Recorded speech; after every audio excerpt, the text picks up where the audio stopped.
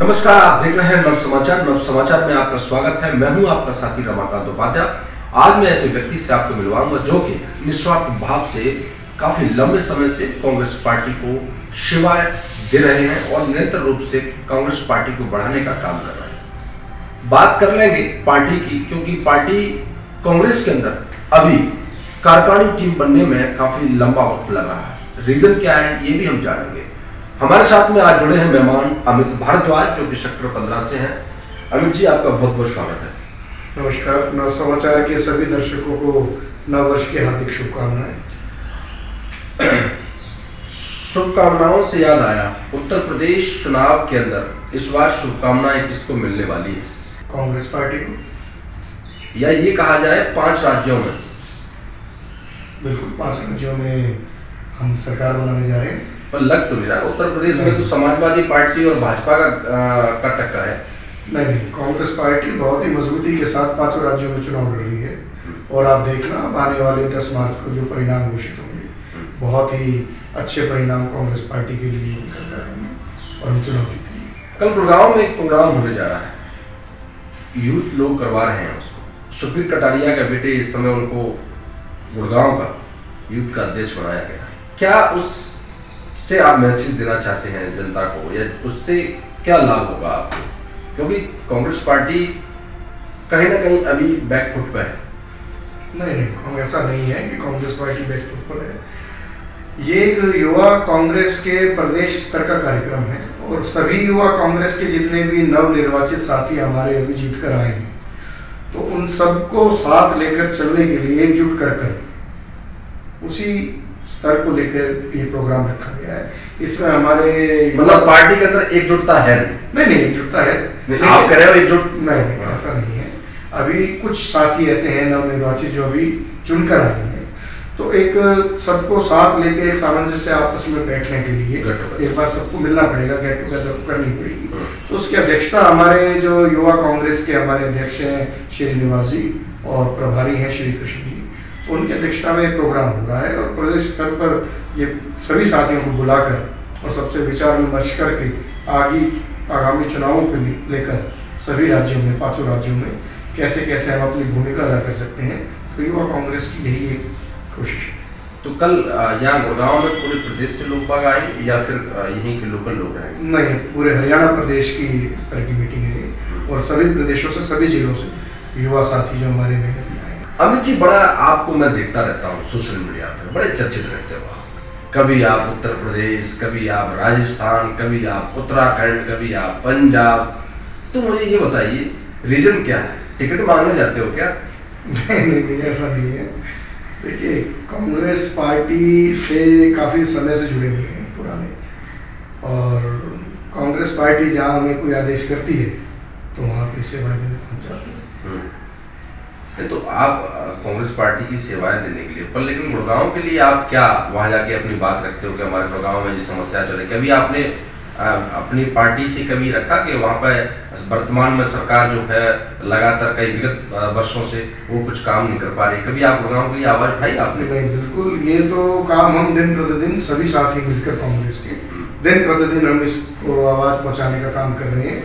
और आप यकीन मानिए 2024 के अंदर हम हरियाणा से बीजेपी को बिल्कुल मेजोरिटी के साथ कांग्रेस की सरकार बनाने जा रहे हैं और भाजपा को इस प्रदेश से बाहर अच्छा। हरियाणा के अंदर? बिल्कुल। कितनी सीट ले आओगे इस बार? बहुत लंबा समय है अभी तो। बहुत लंबा समय है लेकिन आसार पहले ही दिख जाते हैं। कहते हैं ना पूत के पाव पालन में ही नज़र आ जाते हैं। तो वो हमें नज़र आ रहा है। और ये प्रदेश स्तर पर तो है ही है। अब इन पाँचों चुनाव के जो परिणाम आएँगे आप इसी से अंदाज़ा लगा लेना कांग्रेस क्या है पंजाब में इस बार वापस वापसी हो पाएगी? बिल्कुल वापसी करेंगे पंजाब में केजरीवाल जी तो लग नहीं रहा छोड़ेंगे आपको नहीं नहीं, नहीं, नहीं। केजरीवाल जी का जो चेहरा है हाँ जो नकाब है हाँ वो काफ़ी हद तक उतर चुका है पंजाब में अच्छा और सरकार कांग्रेस पंजाब में बनाने जा रही है और उत्तराखंड में सरकार बनाने जा रही है हम्म। यूपी के अंदर हम प्रियंका जी के नेतृत्व में बहुत अच्छा काम कर रहे हैं और प्रियंका जी ने अपना वादा जो बोला था जो किया था 40 परसेंट महिलाओं को टिकट देके इस विधानसभा में वो पूरा किया है। और मैंने पीछे भी कुछ लोगों से सुना, कुछ मीडिया में भी सुन रहा था कि चुनाव आते हैं तो कांग्रेस को महिलाएँ याद आ जाती हैं या इस तरीके से 40 परसेंट वाला मुद्दा। तो कांग्रेस एक ऐसी पार्टी है जिन्होंने हमेशा महिलाओं को तवज्जो दी। कांग्रेस एक ऐसी पार्टी है जिसने पहली महिला मुख्य, पहली प्रधानमंत्री देश को स्वर्गीय इंदिरा जी, कांग्रेस की देन है। लोकसभा में हमारी अध्यक्ष स्पीकर पहली मीरा कुमारी जी के रूप में कांग्रेस की देन है। तो ऐसा नहीं है कि चुनाव आते हैं तो शैलजा जी का भी कह दो आप। शैलजा जी हमारी अध्यक्ष नहीं वो भी पहली महिला थी हरियाणा से जो सांसद बन गई बिल्कुल हमारी शैलजा तो जी उनका भी नाम ले दो आप। नहीं बिल्कुल हमारी हरियाणा की अध्यक्ष हैं हाँ। हमारी पार्टी के अध्यक्ष हैं। और चौधरी भूपेंद्र सिंह हुड्डा जी के नेतृत्व में हम बड़ी मजबूती के साथ हरियाणा में लड़ाई लड़ रहे हैं।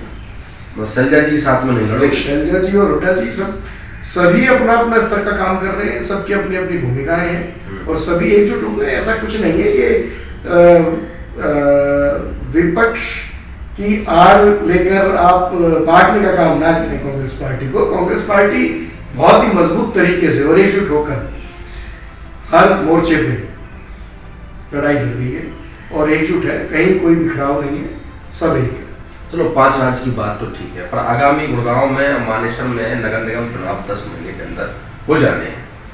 तो उसमें आप कांग्रेस इस बार किस तरीके से लड़ पाएगी और किस तरीके से लड़ेगी? उसमें आपकी क्या आप भी चुनाव लड़ेंगे क्या?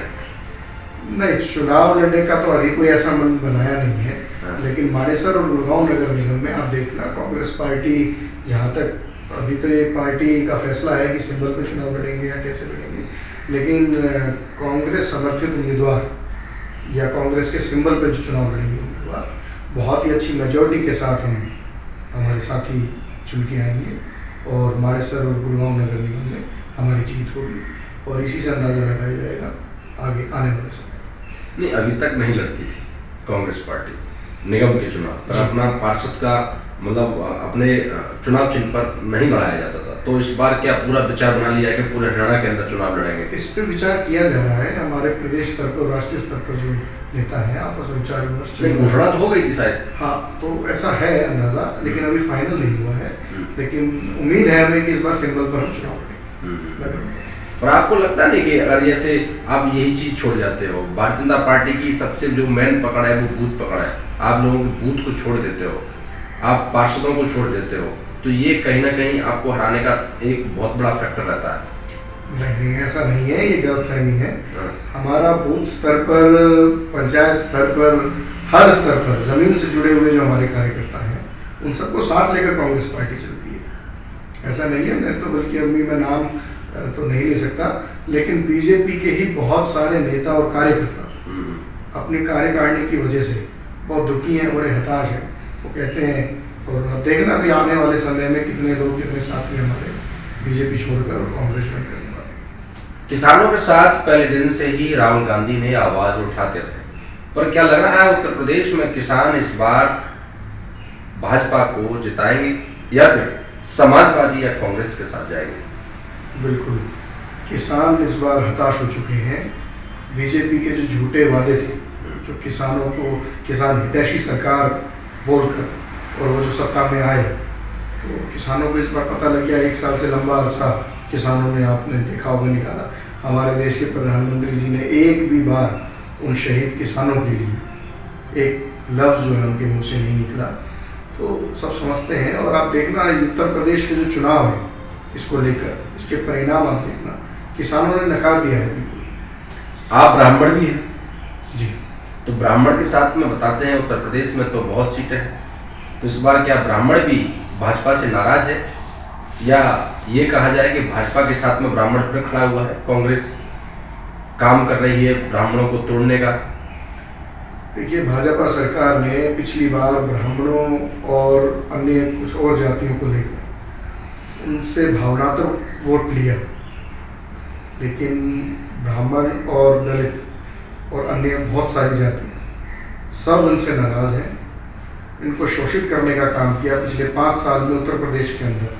ब्राह्मणों को शोषित किया गया, दलित समाज को शोषित किया गया और उनको कुचलने का काम किया गया। तो इस वजह से ब्राह्मण और दलित और अन्य बहुत सी जातियाँ आज बीजेपी से बिल्कुल मुखाफत नहीं लगती। और आप देखना इन आने वाले परिणामों में आपको ये साफ़ देखने को भ्रष्टाचार, महँगाई और बेरोजगारी को लेकर कांग्रेस पार्टी कई जगह तो आवाज़ उठाई। पर गुड़गांव में बड़ी आवाज़ कम रही। आप लोग क्या कभी इस चीज़ के लिए जनता के साथ गुड़गांव में खड़े नहीं हुए? या आप लोग अपनी रोटियाँ सेकने के लिए समय पर उतरते हैं? नहीं नहीं, ऐसा नहीं है। गुड़गांव स्तर पर, प्रदेश स्तर पर, राष्ट्रीय स्तर पर, हर दिन, प्रतिदिन सभी साथी अपने अपने स्तर पर इस लड़ाई को लड़ रहे हैं इस मुहिम को आगे ले जा रहे हैं। भ्रष्टाचार, महँगाई और बेरोजगारी, ये तीन मुद्दे ऐसे हैं जिसको छोड़ा ही नहीं जा सकता। आप देखो, दिन प्रतिदिन कितनी महँगाई बढ़ है। कांग्रेस ने तो हमेशा गरीबों को, दलितों को, बेरोजगारी को खत्म करने का काम किया है। अब भाजपा सरकार तो कैपिटलिज्म बनियों की सरकार है। उनको गरीबों से क्या मतलब? महँगाई आप देख लो, दिन प्रतिदिन कहाँ जा रही है। कांग्रेस के कार्यकाल में सिलेंडर, क्या भाव मिलता था और आज क्या है? महँगाई को लेकर, बेरोजगारी को लेकर कई ऐसे मुद्दों पर अमित भारद्वाज जी से हमारी चर्चा हुई। उन्होंने बताया कि कांग्रेस पार्टी सदैव देश के साथ और देश की जनता के साथ खड़ी हुई है और हम हमेशा खड़े रहेंगे। जब तक के लिए देखते रहिए, नव समाचार विवाद खबर, हर समय धन्यवाद।